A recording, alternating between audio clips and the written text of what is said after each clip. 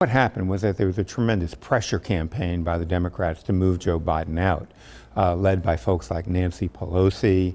Certainly, a lot of Barack Obama's allies were involved, and in particular, also the donors to Democratic campaigns were saying, We're not writing any more checks while he's still running for president. So ultimately, what happened, I think, is Joe Biden recognized that there was really no path for him uh, to continue to run an effective campaign and decided it would be best to get out of this race and to endorse his vice president, Kamala Harris. And that was also a, a, a decision that was not known as to whether they were going to go back and have a, a committee convention to elect their candidate or whether he was going to endorse the vice president. Um, at this point, with the convention just days away, was this the only decision that was left?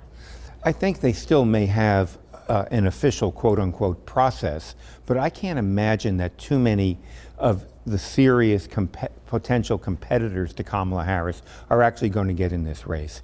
If you've seen what's happened just in the few hours since Joe Biden made his announcements, all kinds of Democrats have come forward and said, you know, they are endorsing Kamala Harris. There are still some holdouts out there saying we really need to look at the best candidate to win Pennsylvania, Michigan, Wisconsin, Virginia, but by and large, it's going to be very, very difficult to unseat her. And my thinking right now is that she really is going to be the Democratic nominee for president. So with J.D. Vance now picked for the reasons that we talked about last Monday, just being very appealing to those swing states, do you think um, Vice President Harris was going to do the same thing in, in her pick? And how is that going to even work? She choose her VP candidate, or would they? Choose one at the convention? Uh, she will choose the candidate and will be um, confirmed at the convention.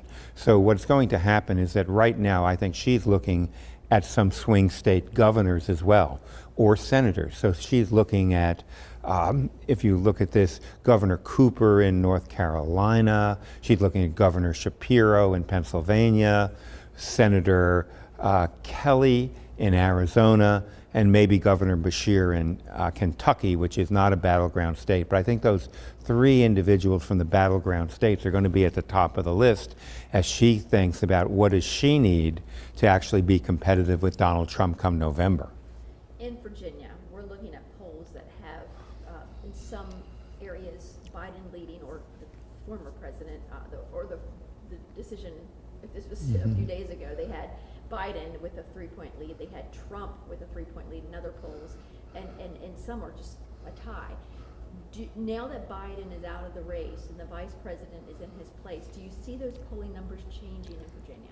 Well, they might change slowly here. I think what you see here is this gives the Democrats an opportunity for a reset. And what we've seen in these polls is that of the people who haven't made up their minds, who, who haven't decided what they're going to do, a lot of those people seem to lean a little bit Democratic normally, and that might be good for the Democrats. But I think what we have to recognize is that Kamala Harris, while there's going to be a lot of energy behind her campaign, is also somebody who is not proven yet as a national campaigner the first time she ran for president, it, it, sort of petered out very, very quickly. So she's going to have both an opportunity and a little bit of a risk for the Democrats because we're going to have to see what kind of campaigner she is.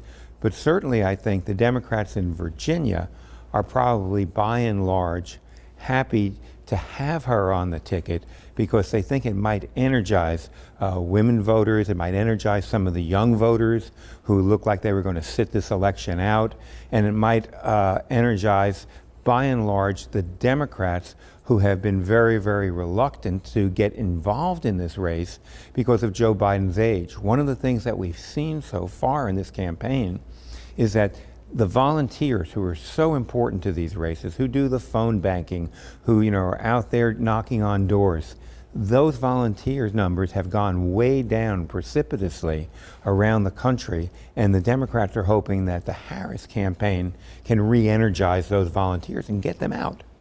Okay. Anything that you want to know? No, I think that's good, Tracy. Got everything? yeah. Okay. Well, actually, one other question. Okay. Do you think VP Harris? Do you think she's ready to be the president? Well, I think she has to be ready right now, um, and we're going to see that. That by and large um, as I said, that let me try that again.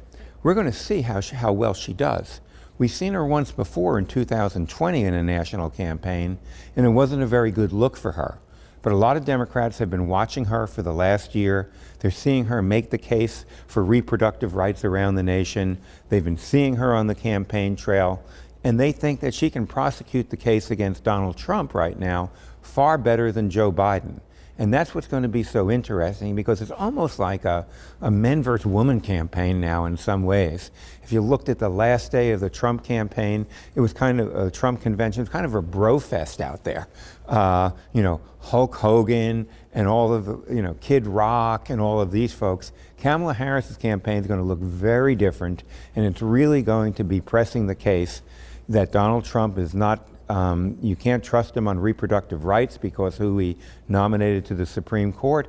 And they're going to be very blunt that Trump is somebody in these civil cases, uh, was convicted of sexual assault in these civil cases. The Democrats are going to talk about that till the cows come home, I think, um, in this campaign.